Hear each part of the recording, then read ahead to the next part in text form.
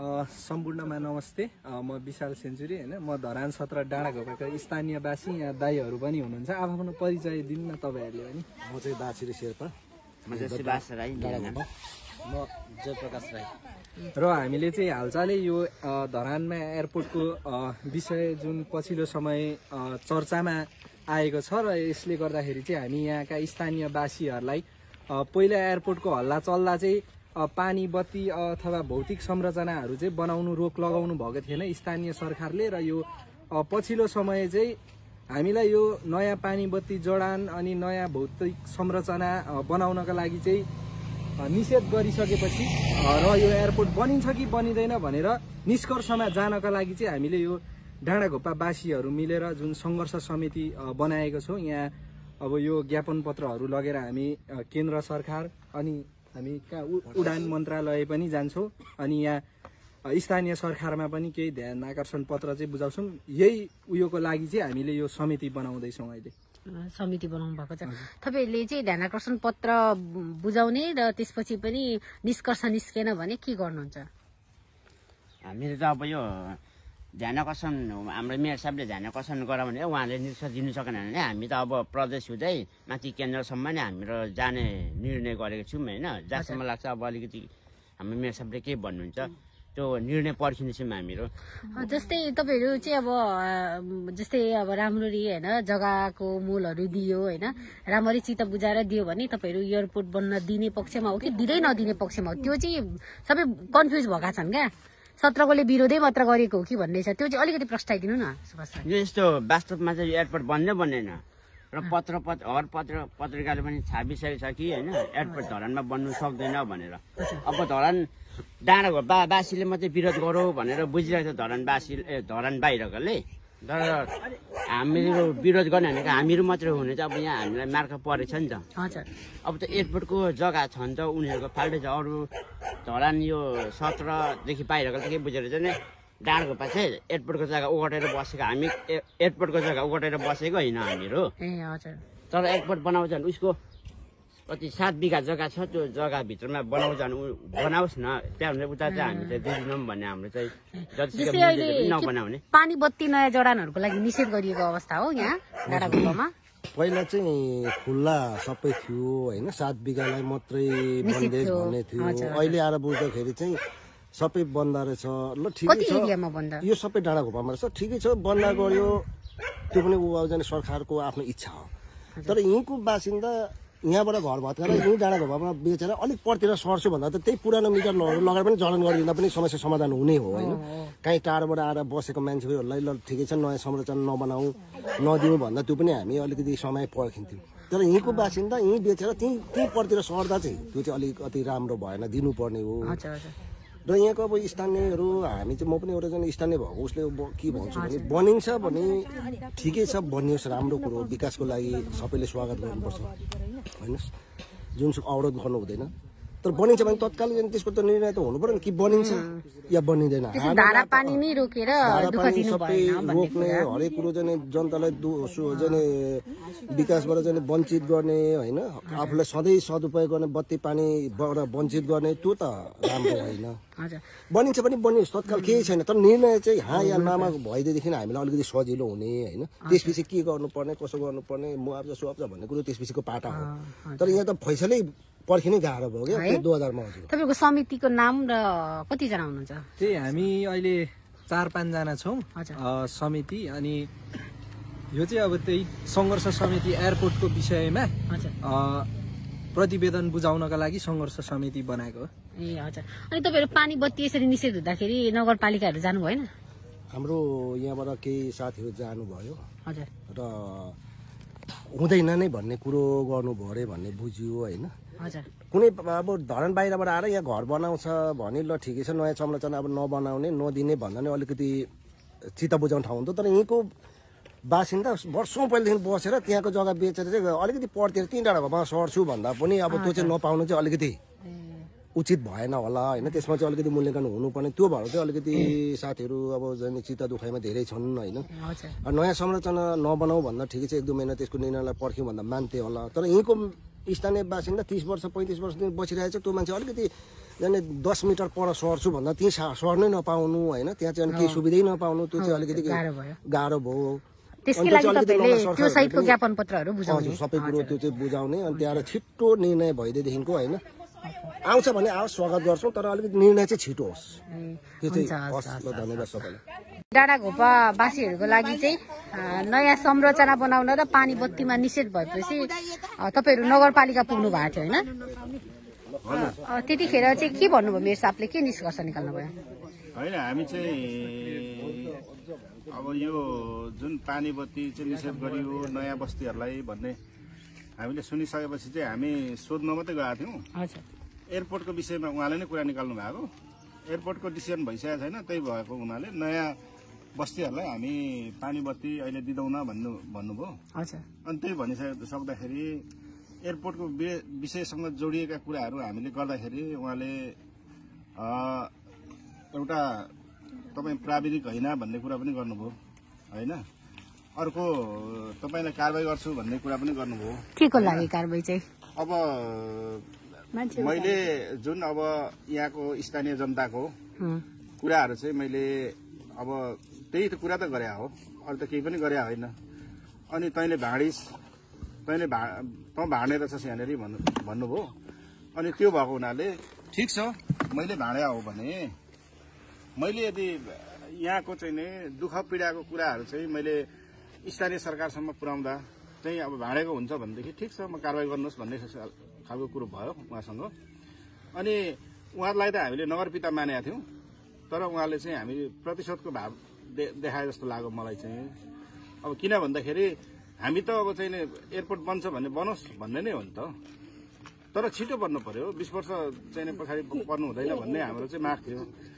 अब तर उहाँले चाहिँ अब हजुर चाहिँ प्राविधिक पनि होइन भन्नुभयो। प्राविधिक त उहाँ पनि होइन नि त। होइन? उहाँ पनि होइन। त्यो भएको हुनाले कतै यता कता के अरे मिडियाहरूले निकालिरहेको छ त। अब एयरपोर्ट बन्न सक्दैन। अब यो ठाउँै पोसिबल छैन। अब यो भिजिट गर्दाखेरि अब चाहिँ यो चाहिँ नि उहरूले पनि प्राविधिकहरूले पनि अब यो ठिक छैन भनेर भनिसके हुँदाखेरि उहाँले चाहिँ अब अब सबै कुरो उहाँ नै जान्ने जस्तो गरेर हामीलाई चाहिँ नि एउटा अफिसमा बोलाएर बोलाएर थर्काएँ भन्ने खालको त्यो त्यो स्टाटस त्यो मिडियाहरूले हालेर छ। तर मिडियाहरूलाई म के भन्छु भन्दाखेरि यता सबै कुरा चाहिँ हालिदिएदेखि राम्रो हुन्थ्यो क्या। हामी त पीडित हो नि त। पीडितको पक्षमा त बोल्न पाइयो नि त। पीडितको बारेमा विषयमा बोल्दाखेरि चाहिँ मेयर साहबले चाहिँ यहाँनिर के अरे अब अफिसमै बोलाएर चाहिँ थर्कायो भनेर त्यो हालिदिएको छ हामी त मेयरले बोलाएर त गएको त होइन। हामी त हामीलाई पानी बत्ती किन रोकियो भनेर बुझ्न मात्रै गएको बुझ्न मात्रै गएको र मिडियाहरूले पनि अब सत्य कुरो चाहिँ लेखिदिएखेरि राम्रो हुन्थ्यो कि भन्ने हो।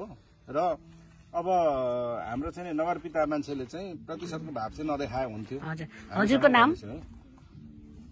मेरो नाम चाहिँ उद्दिम राई हो। उदिम राई। होइन? अब तपाईँहरू कतिजना जानुभएको थियो?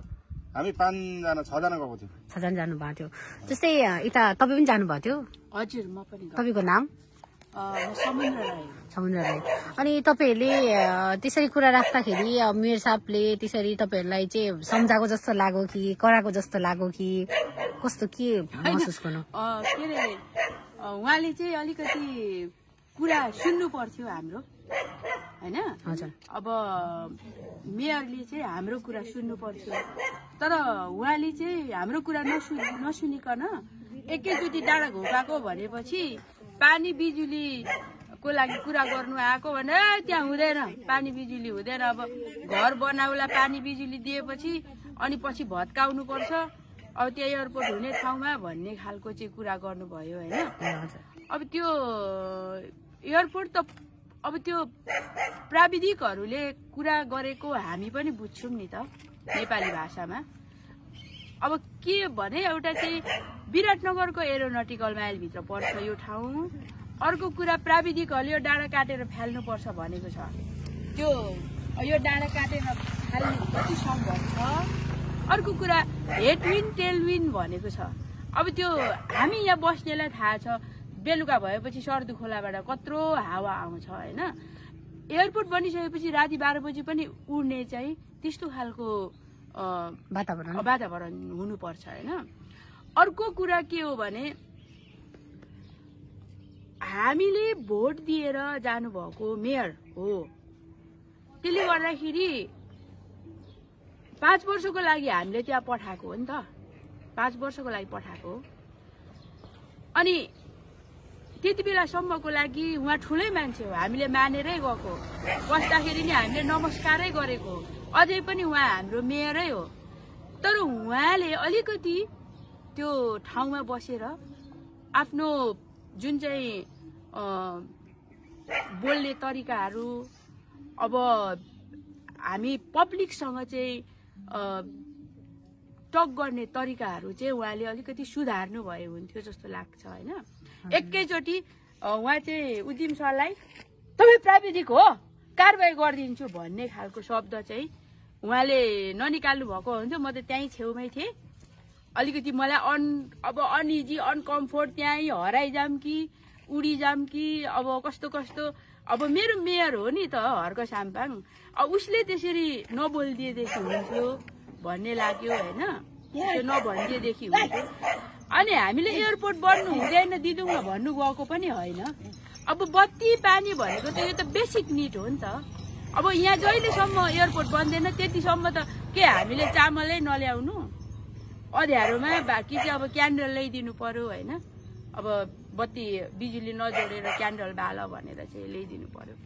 त्यो अलिकति उहाँले अब यदि कोही त्यस्तो खालको अब मेयर भएदेखि कहाँ हो भनेर आफै आएर त्यो समस्या कहाँ हो भनेर आफै आएर चाहिँ त्यो बत्ती पानी जोडिदिनु पर्ने हो जस्तो मलाई लाग्छ।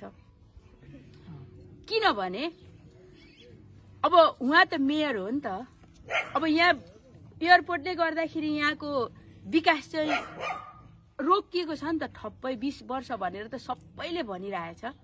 अनि यहाँको बाटो हेरिराख्नु भएको छ यस्तो धुलो र मैलो छ। अब त्यहाँबाट चाहिँ उहाँले धरानलाई चाहिँ छुट्टै राज्य बनाउँछु भने जस्तो। हामीले पनि डाँडा घोपालाई चाहिँ छुट्टै अब अर्कै उमा चाहिँ उता बरा छत्र कि कुन अर्को नगर नजिक पर्छ उता हामीलाई मिसाउ भनेर चाहिँ जानुपर्ने जस्तो देखिन्छ। किनभने यो एन्फादेखि यता तपाईँको एक बोरा सिमेन्ट पनि नगरको लागेको छैन। लागेको छ त। अनि नगरपालिका भनेर मा बस्छौँ भनेर भन्नु पनि लाजै मर्दो भइरहेछ। अनि एयरपोर्ट एयरपोर्ट भनेको छ एयरपोर्ट के सर सरकारले पहल गरेको हो त? होइन नि त। त्यो त यति एयरलाइन्सले सात बिघा जग्गा लियो अब मेरो त यहाँ त दुई बिघा छ मेरो जग्गा। होइन? दुई बिघा छ। सात बिघा जग्गा यति एयरलाइन्सले लिएको छ अनि उसले बेचेको छ किन बेच्नु पाउँदैन यति एयरलाइन्सले? त्यो प्राइभेट प्रपर्टी हो नि त। अनि त्यसमा चाहिँ राज्यले टाउको दुखाउनु पर्ने त म खासै त्यस्तो देख्दिनँ। अब त्यहाँ चाहिँ त्यति बेलाको हवाई प्राधिकरणको जिएमले मन्त्रीले अब कसैले पनि त्यो जग्गावालाहरूको उमा चाहिँ साइन गरेको म देख्दिनँ। किनभने योभन्दा अगाडिको योभन्दा अगाडिको तारा सुब्बाको पालाको सङ्घर्ष समितिको अध्यक्ष म हो उहाँ सचिव हो हामीसँग यति फाइल छ त्यति बेला मिन विश्वकर्मा अनि के अरे हाम्रो एकजना नागरिक उड्डयन मन्त्रा मन्त्री हुनुहुन्थ्यो शेर्पा समथिङ शेर्पा कृपासुर शेर्पा उहाँहरूले चाहिँ बजेट छुट्याइदिएर यहाँ ड्रोन उडाएर ड्रोन उडाएर चाहिँ यहाँ पुरै नागरिकलाई चाहिँ त्यो सूचना नदिकन सर्वेक्षण गरेर फाइल रेडी गर्नु भएको छ त्यो पैसा हामीले खोज्नु पर्नेछ अब। अब यो समितिले अब यो समितिले त्यति बेला यहाँ खर्च गरेको पैसा खोज्नुपर्छ।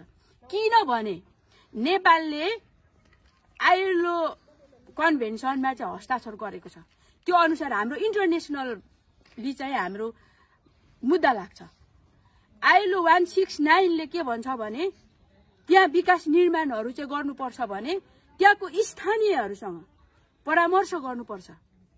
सहमति गरेर बल्ल त्यो कुरालाई चाहिँ अगाडि बढाउनुपर्छ भनेको छ। त्यो कुरा सुदन किरातीले पनि पढेको छैन उसले एकैचोटि ल ल ल ल ल भन्यो। प्राविधिक पठाइदियो। प्राविधिक पठाउनु अगाडि चाहिँ हामीसँग परामर्श हुनु पर्थ्यो एयरपोर्टको बारेमा। यहाँ एयरपोर्ट बन्ने भन्ने कुरामा तपाईँहरूको के छ राय? तपाईँहरूको जिज्ञासा के छ? तपाईँहरू यदि ठाउँ सारियो या एयरपोर्टमा को ठाउँमा चाहिँ अर्को ठाउँमा तपाईँहरू सार्दाखेरि खुसी हुनुहुन्छ? तपाईँहरू पैसा दियो भने मुआब्जा लिएर अर्को ठाउँमा जानुहुन्छ? भनेर यहाँ पहिला सुदन किराँतीले सोध्नु पर्थ्यो। त्यो प्राविधिक पठाउनु भन्दा अगाडि। त्यस पछाडि हाम्रो मेयरले चाहिँ कोअर्डिनेसन गर्नुपर्ने हो नि त। किनभने उहाँले के अरे मेयर हर्क साम्पाङले एयरपोर्ट बनाउने त होइन नि त। एयरपोर्ट त नागरिक उड्डयन प्राधिकरणले बनाउने हो नि त। अनि यहाँ चाहिँ उहाँले त्यसरी बत्ती पानी रोक्नु मिल्छ? मिल्दैन। त्यो मिल्दैन। एकदम मिल्दैन। त्यसको लागि त्यसको लागि लड्नैको लागि यो सङ्घर्ष समिति बनेको हो। त्यसमा चाहिँ सङ्घर्ष समितिको समितिहरू छ। हामी सबै हो कि होइन? हामी हामी पछाडि छौँ। अनि यसको लागि हामी सबै यो डाँडा घोपामा अहिले उपस्थित भएको नभएको सबैजनाले चाहिँ हामी पहल गर्छौँ। यो सङ्घर्ष समितिलाई बरु के अरे जङ्गे कि के अरे रेलमा कि जेलमा भने जस्तो होइन?